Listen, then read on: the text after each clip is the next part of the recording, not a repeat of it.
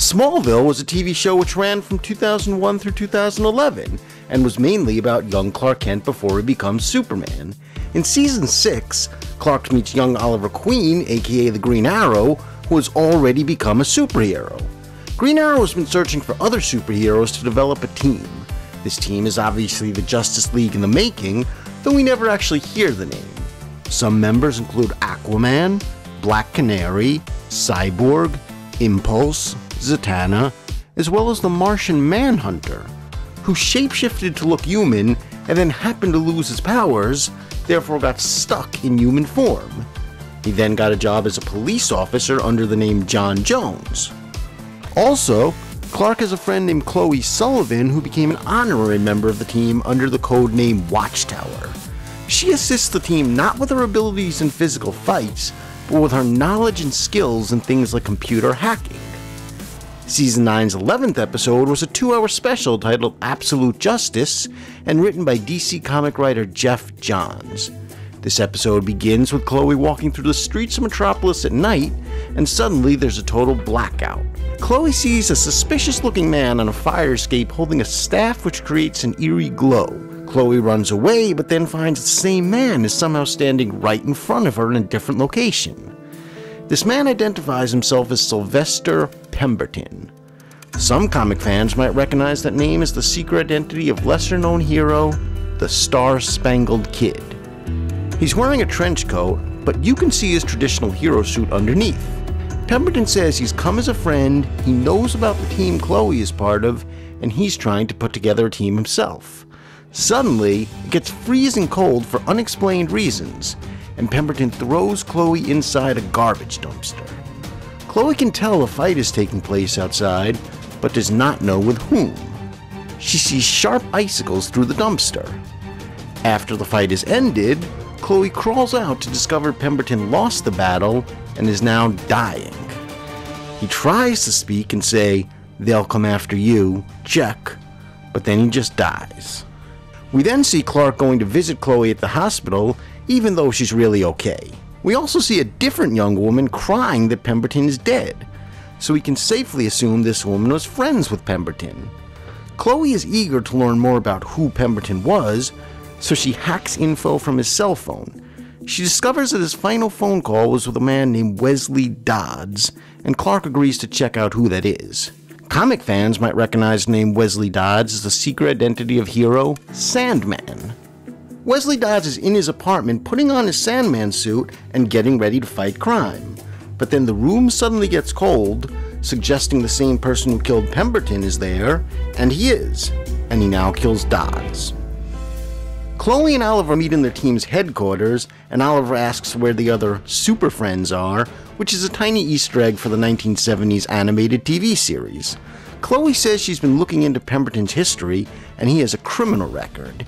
She then uses face recognition technology to identify Pemberton's friend who showed up in the hospital, and her name is Courtney Whitmore, the secret identity of comic hero Stargirl, who was actually created by Geoff Johns, named after his sister, who sadly passed away.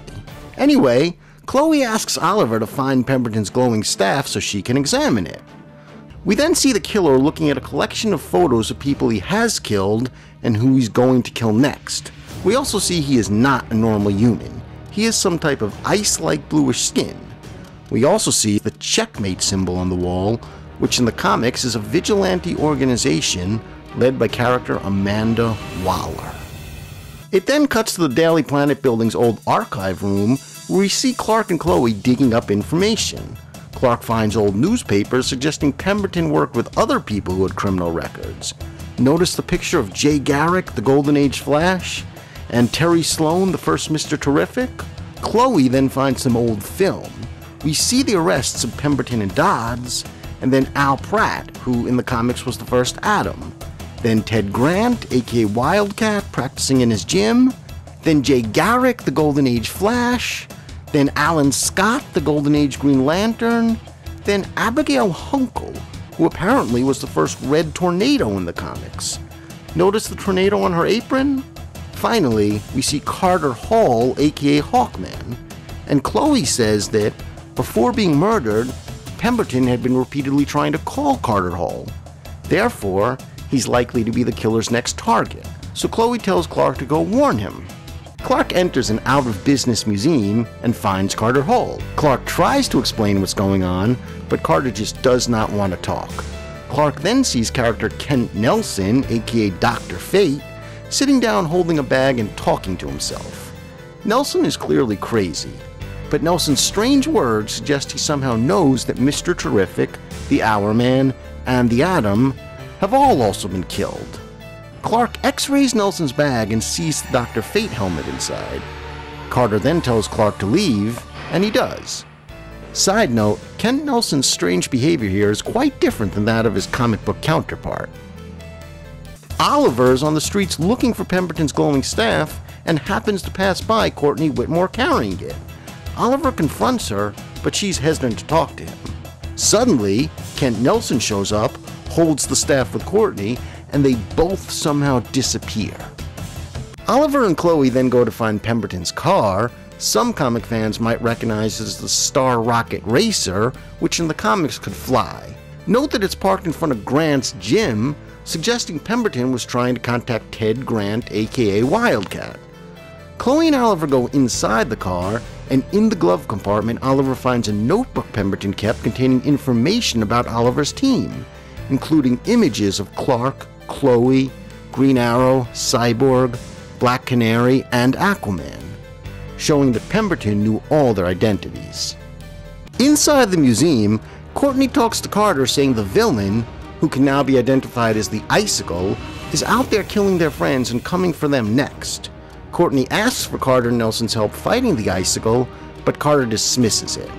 Courtney then asks what Shiera would have done, referring to comic character Hawkgirl, the wife of Carter Hall, who, in this version, is now dead. As soon as Carter hears the words asking what his wife would have done, we see a look on his face suggesting his attitude has completely changed. Clark and Chloe are talking about who the killer with ice abilities might be, and Chloe says her suspect is an older man named Joar Mahkent, who was once a villain known as Icicle, but now is in a hospital recovering from serious injuries he received years ago. Carter Hall tells Nelson it's time for their alter egos to come out of retirement. As Nelson is about to put the helmet on, he says he can barely remember what his life was like before Dr. Fate. He says he thinks he had a wife named Inza, referring to the comic character, but now he doesn't know where she is. When Nelson puts the helmet on, its powers turn him back into a hero. He suddenly sounds not only sane, but brilliant. Carter and Courtney look on proud. Carter then opens the closet where he keeps his Hawkman suit and picks up the mace, saying it's been a long while since he used it. Clark and Chloe are in the hospital looking for Joar Mahkent, and they find Dr. Fate using his powers to examine him. As Clark enters, Dr. Fate just touches him and sees a glimpse of his future as Superman. Fate then uses his powers to transport both him and Clark elsewhere, and Chloe is left in the room with no clue of where they went. Chloe then calls Oliver, who is now in costume running on rooftops, saying a satellite informed him where the glowing staff is and he's following it. Oliver says he's in Suicide Slum, which in the comics is the name of a slum area in Metropolis. We then see Courtney walking down an alley in her full Stargirl suit. Oliver then jumps down to talk to her but gets knocked down by Icicle's powers from behind.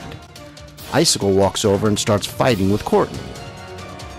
He's on the verge of killing her, but then Oliver saves her with an arrow cracking Icicle's ice, and then Icicle runs away. Suddenly, Oliver gets picked up by someone flying in the sky and throws him through the window of the room Chloe is now in. We then see it was Hawkman, and he tells them to stay out of his team's business. Later, while Oliver is healing, he shows Chloe that he grabbed a ninja star from Hawkman she says it looks like something you'd find in a museum. Oliver says he wants to plan a battle with them. We then see Detective John Jones being called. Clark wakes up alone in the museum and starts looking around.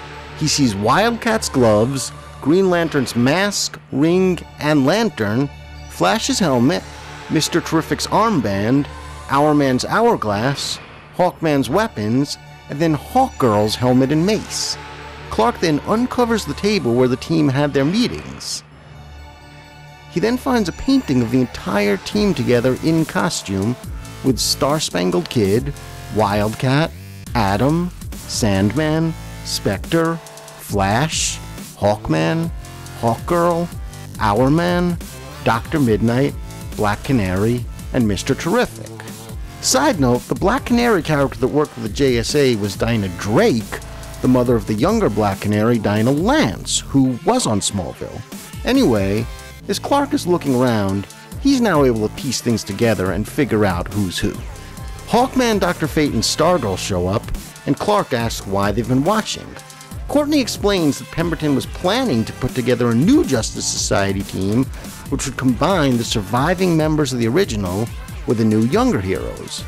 Then Green Arrow suddenly shows up and starts fighting Hawkman, but then John Jones shows up and tells them to stop fighting.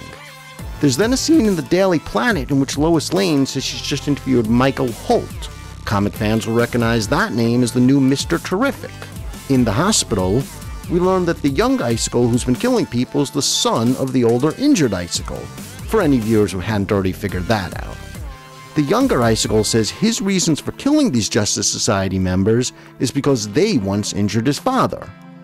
Then, cutting back to the museum, Hawkman explains the story behind their criminal records. Decades ago, the Justice Society were fighting criminals but staying out of the public eye. The government figured out who they were and wanted the team to do as the government ordered, but they refused. So the government then made up lies to have all the Justice Society members arrested. That's why their team disbanded. Courtney says that Flash, Green Lantern, Wildcat, and more members are still out there, and if these two teams don't team up to stop Icicle, then Icicle will go after them next. Carter, still feeling bitter about his past, reluctantly agrees for the two teams to form a temporary alliance. Chloe then arrives and says the younger Icicle will likely go to a nitrogen depot to refresh his powers. The team split into groups of two. Chloe and Stargirl at the headquarters of the younger team, where Stargirl goes over how she first got involved with the JSA. She mentions her uncle Pat, who was a hero called Stripesy, who worked with the Star Spangled Kid. Green Arrow and Hawkman are on a rooftop where they argue pointlessly. Dr. Fate asks Clark to stay behind at the museum so Fate can give him a few hints about what he sees in his future. He says Clark is a special hope for the future and will lead other heroes. Clark says Dr. Fate reminds him of a team he once met from the future who hinted at his destiny but were vague. Clark is obviously referring to the Legion, who had an episode that aired the previous year, also written by Geoff Johns. If you'd like to see me someday make a video about the Legion episode, then please leave your requests in the comments below. Amanda Waller, played by actress Pam Grier, walks into the checkmate room to speak with Icicle. The two debate over whether the recent murders by Icicle were really him going along with the business he was assigned by Checkmate, or just his personal vendetta. At the Daily Planet, Clark sees Lois trying to figure out what's going on. She has discovered that the so called criminals in the Justice Society were really heroic vigilantes. There's a moment when Clark says Clark and Lois can make a great team, and Lois corrects him by saying Lois and Clark is an Easter egg to the 1990s TV show. Dr. Fate and John Jones are looking for Icicle at a nitrogen depot. Dr. Fate says he can tell Icicle is close by and suddenly uses his powers to physically push John J'onzz, and for the first time ever on the series, we see John Jones in his full Martian form. Icicle then stabs and kills Dr. Fate, and Icicle keeps the helmet for himself to double his powers. John Jones is taken to the hospital unconscious, and the doctor, Professor Hamilton, who knows Jones is a Martian, doesn't know what to make of Jones's condition. Hawkman takes Green Arrow to the new team's headquarters, where they also meet with Clark, Stargirl, and Chloe. Icicle suddenly shows up with Dr. Fate's helmet. All four heroes there try to attack Icicle at once, but when Icicle is Dr. Fate's helmet, even all four of them together can't defeat him. Icicle is about to kill Stargirl, but suddenly Martian Manhunter flies in, revealing that his powers are now back as a result of whatever Dr. Fate did to him, and Icicle is unable to hurt Jones in his Martian form. Now, five heroes attack Icicle, and Hawkman knocks the helmet off Icicle and knocks him unconscious. After the climax, Hawkman talks to Clark and acknowledges the younger team of heroes is better than he originally thought, and he believes Clark will go on to be the greatest hero ever. Hawkman also says he now plans to honor Pemberton's plan and locate the surviving members of the Justice Society, as well as their kids and proteges, to start a new Justice Society. Lois has written and published an article for the Daily Planet revealing that the Justice Society were a group of heroes and the crimes they were accused of were all made up. We then see the Icicle tied up in a checkmate facility, and he has further lost his sanity as a result of wearing Dr. Fate's helmet. Amanda Waller then comes in and reveals that she never believed Icicle was capable of destroying the entire Justice Society. The real reason she hired Icicle was because she actually wanted the Justice Society to reform and knew that killing a few members was the only way to motivate the other members to do that. Her reasons for wanting the team reformed was to protect the Earth from the apocalypse that she believes is coming soon. And by that, she's referring to comic villain Darkseid, who would go on to become a part of Smallville's following season. She then makes a quick reference to the Suicide Squad and then kills Icicle. Afterwards, Waller leaves the room and meets one of the show's regular characters, Tess Mercer, in the hall, revealing that Tess Mercer is also working with Checkmate, and that's how the episode ends. Okay, so that wraps up my plot description. Now I'm also posting a part 2 for this video in which I give my review of the episode please be sure to watch that as well. Thank you.